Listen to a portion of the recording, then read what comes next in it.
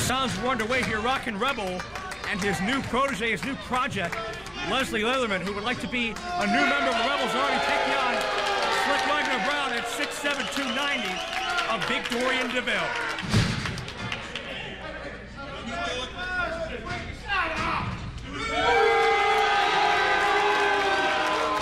Kind of a mixed crowd tonight for, for this match anyway, Joe. Absolutely. Fans picking their own favorites here.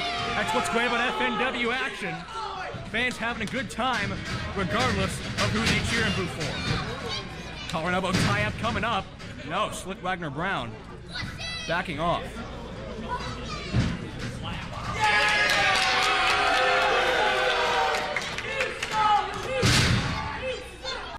You know, I like Slyck Wagner Brown as much as anybody, but he's better keep his attention on Rockin' Rebel. He can't be turning his back on a, a seasoned veteran like the Rebel.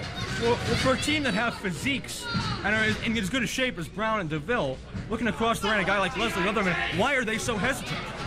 I'm not, I don't know why and Rebel's even considering allowing Leslie Leatherman to join the Rebels army. Obviously, they've done this research on this Leatherman guy. They know something about him because they're pretty hesitant right now. Side headlock on Rockin' Rebel, one of the toughest guys you will ever see in a ring. Quick roll up and a kick out. One count by referee CJ Sensation.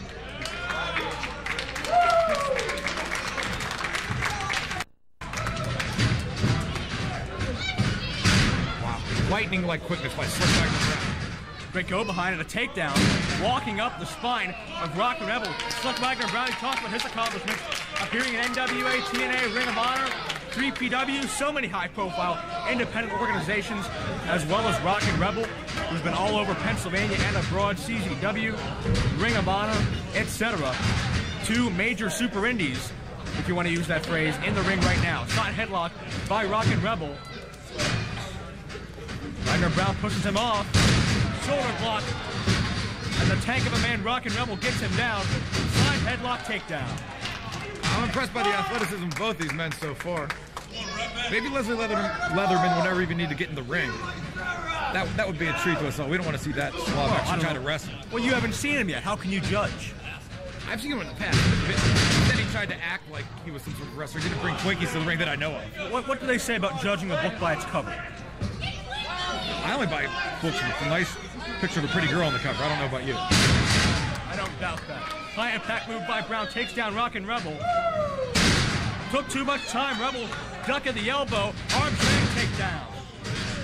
And the second one, Rockin' Rebel in full control. And Slyck Wagner Brown showing obvious frustration thus far. You know, you talked about both of these guys being uh, you know, great super indie wrestlers, but uh, I really believe that either one of these guys, Dorian DeVille too, could go ahead and beat with anyone in the business, period, including the WWE. These are some true up-and-coming superstars. No doubt about that. You want to talk about Dorian DeVille? He was a semifinalist in the recent WWE Tough Enough competition, so he has been looked at by some very important people. Knife edge chops, Irish whip with a reversal by Slyck Wagner Brown. Rockin' Rebel over with a hip toss, scoop slam. Wagner Brown is down again. You could just feel the impact of that body slam. These are some powerful men in there, Joe. Slyck Wagner Brown, all his offense has been stopped. Three tags in the big man. 6'7", 290. Dorian DeVille, but Rockin' Rebel it to Dorian DeVille as well. Trying to catch it for a slam cross body by the Rebel. Gets the big man down, but only for a count of two. I'm impressed with Rockin' Rebel. I didn't think he'd be able to take down a man as big and powerful as Dorian DeVille like, like he just did. That's impressive. Now we're going to see the big man. And the Stay Puft Marshmallow Man is in the ring. Flapjack, no, back body drop, takes down DeVille. You better watch. Don't say the word flapjack around Leslie Leatherman. Another one for Slyck Wagner Brown. What do you think, Mayor? This guy's got to be at least 300 pounds. I'm saying he's close, closer to 350. Knife edge chop. He's got a lot of power behind those blows, though. That's the advantage of being so big. Each of those arms got to weigh 100 pounds alone. Dorsal whip. So we've got at least 600 pounds of beef in the ring right now. Leatherman getting fired up. Another tackle, and no one moves. Now this is an irresistible force, and an immovable object. Showing again, cheap shot by Slyck Wagner That's Brown. not a cheap shot. He was walking over to get a better look at the match, and Les- Leslie Leatherman just happened to walk into his foot. Oh, what do you have, a foot spasm or something? Give me a break, spine buster by DeVille. This one's over. No. Oh, that was millimeters away from being a three count. And that shows you right there, Leatherman is better than you gave him credit for to kick out of that devastating spinebuster. DeVille focusing his offense back on the back now, standing right on the spine as sensation counts. Dorian DeVille is a big man, but he's taller than Leslie Leatherman, but he is not heavier. I'm telling you, that Leatherman, he's got to be, he's 375 if he's a pound. Clearly, Leatherman has to get the tag back in. He, to Rockin' Rebel, he is the unproven one here. He is the protege in training, so to speak, to join the Rebels Army. Not a full-fledged member yet. Rockin' Rebel, the leader of the team, well-established star. They've got to get him before it's too late. Rockin' Rebel can't be impressed with his new protege yet. Look at him. Well, there's not much impressive stuff you can do when you're in there with a guy that's six foot seven, two nine. Especially when he's over 400 pounds himself. He should be able to go toe to toe with anyone. his boots across your head. And now Slyck Wagner Brown, and now was there a tag there?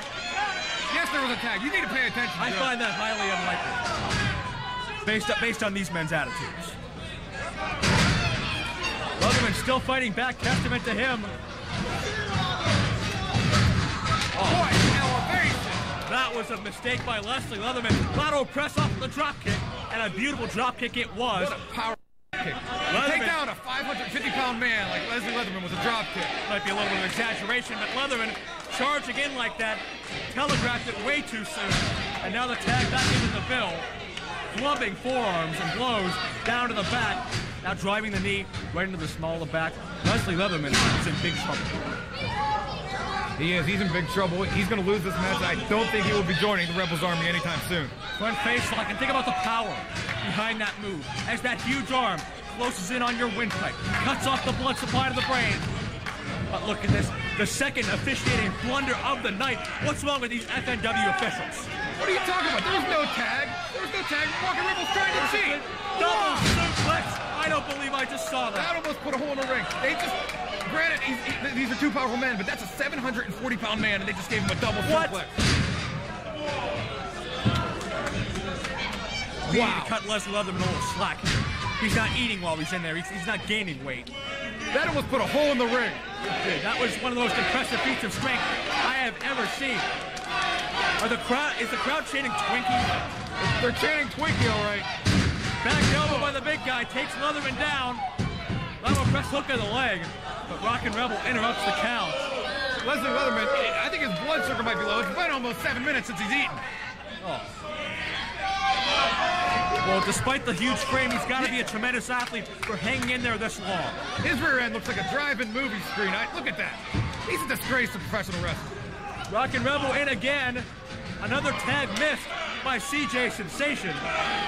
I think CJ needs to disqualify Rockin' Rebel or send him to the back. Are you Let- kidding let- me? This should not be. A, Leatherman is as big as two men. This should be a two-on-one match because Leatherman has a weight advantage to begin with. This is a travesty thus far. Come on, ref. The ref needs to worry about the action. Stop, stop annoying Slyck Wagner Brown. He's a man of honor. He wouldn't cheat. A man of honor. Give me a break. Of the close on Leatherman. Charging in. Oh, Double clothesline. Both big men go down. What? What is? What is Rockin' Rebel doing? Is he opening a cookie? Well, these people concentrate on wrestling instead of food. He's putting it in Leatherman's mouth. That's a disgrace. I am.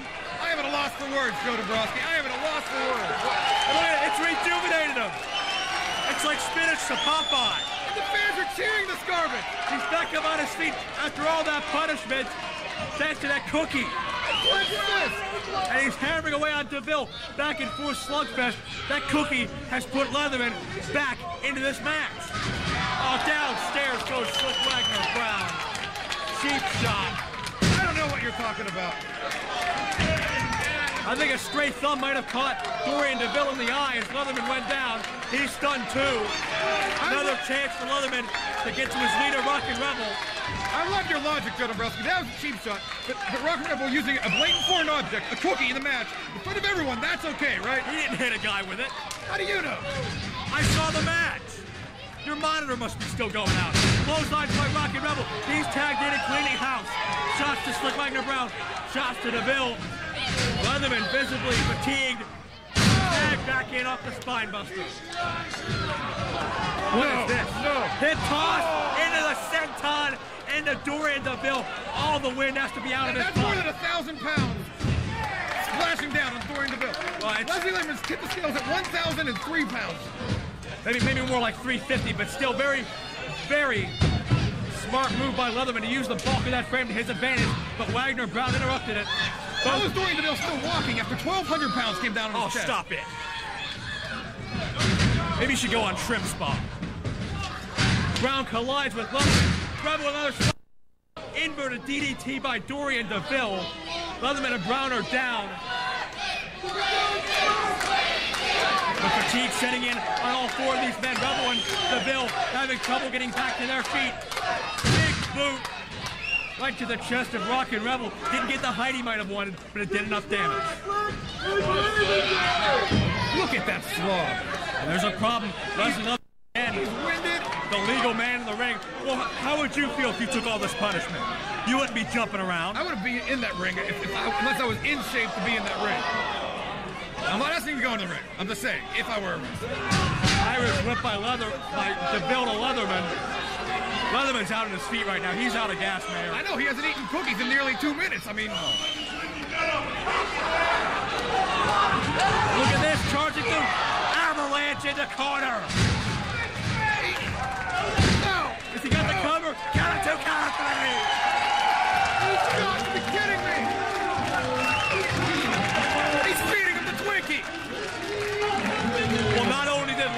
Leatherman come out for his first match with Rockin' Rebel and win the matchup, he scored the pinfall for his team. Regardless of looks, regardless of eating habits, Leslie Leatherman a force to be reckoned with. The question is now, is he deserving to be a full-fledged member of the Rebels Army? No, he's not. He was embarrassed that he got lucky. I have never seen such a blatant display of foreign object usage. Twinkies, cookies, pies throughout the match. CJ Sensation, what? Or suddenly foreign objects okay if, it's, if his buddies using them? Well, time will tell if the recruitment of Leslie Leatherman into the Rebels Army is a success.